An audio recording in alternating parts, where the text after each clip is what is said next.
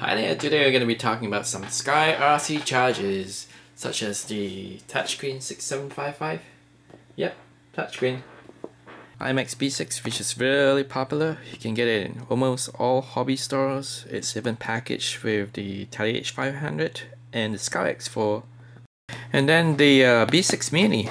It's smaller but more powerful. But before we begin, let's take a look at the unboxing.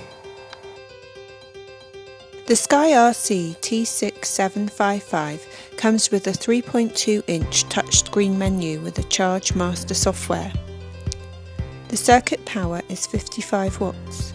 The discharge current power is 5 watts. The charge current range is 0.1 to 7 amperes, perfect for larger batteries used on FPV planes or, or the Walkera Tali H500 or Scout X4. It automatically calculates the charge current, taking the math or guessing out of the equation. This Sky RC charger comes with an optional standard temperature probe socket. The unit measures the internal temperature and external temperature if the temperature probe is installed. What we like about the T6755 is the efficient ventilation design that allows air to flow from the back to the front. It is quiet and when the charge is complete, it shuts off and you get a soft ringtone versus a few loud beeps.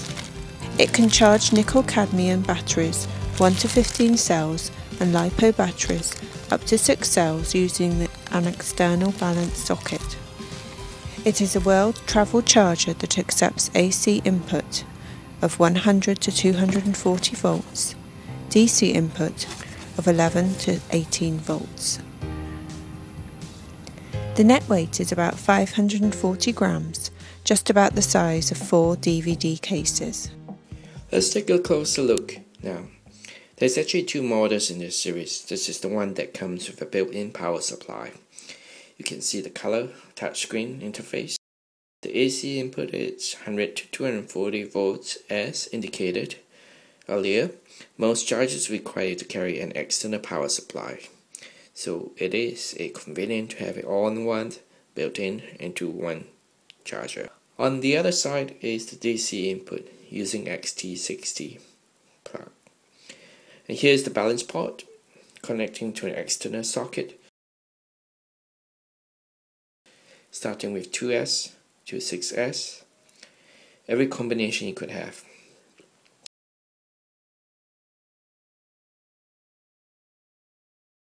Next, we have the PC Link for the Charge Master software for your computer and a temperature port. It does not come with a temperature sensor, but we have an older temperature probe that was from a Thunder charger and it fits just fine. These are the cables that came with it um, none of them that we will use right now. And that's all that came with it. What better way to demo this charger is to use a Scout X4 LiPo from Walkera. This battery is 5400 at 22.2 volts a 6S LiPo battery that is the balance port here. First remove the uh, rubber protector from the balance port. Here we have the 6S balance lead. And this goes right onto the 6S socket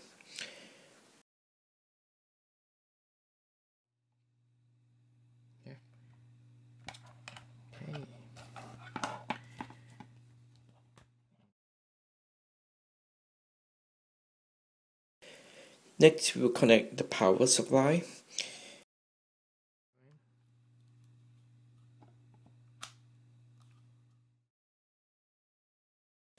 Put on the switch as instructed.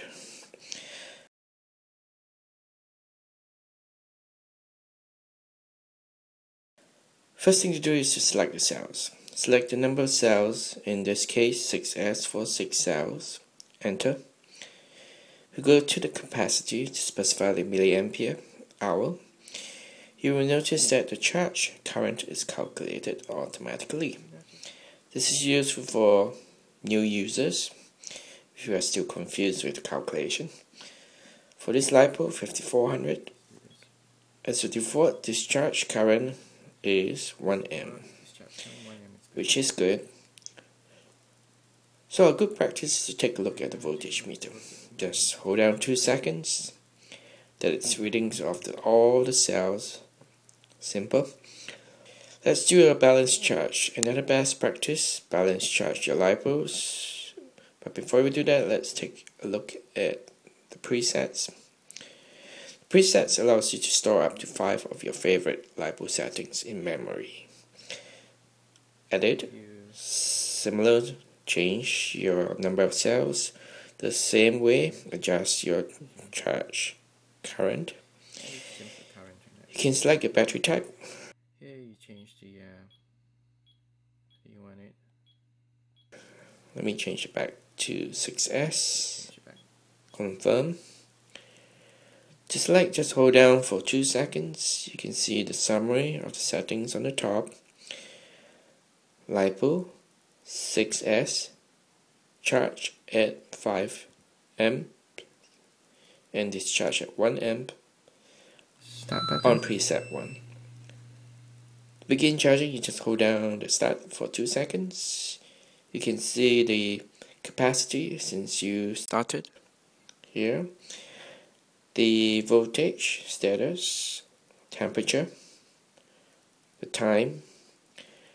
You see the external temperature from the probe and this is the internal temperature. The charge current is automatically adjusted. It is not charging at 5 amps because of the 55 watts limitation on a 6 cell. See the formula here? Formula. Touch on balance status. This will give you the cell readings. Looks very balanced. Almost perfect.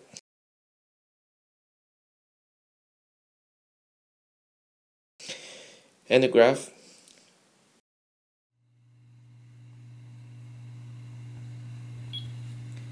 And you can stop it. This beep is the alarm itself. It's a nice ringtone to it. Let's take a look at settings. Here you can change your system settings. Let's take a look at the system settings. You can change the color. Blue, red, blue,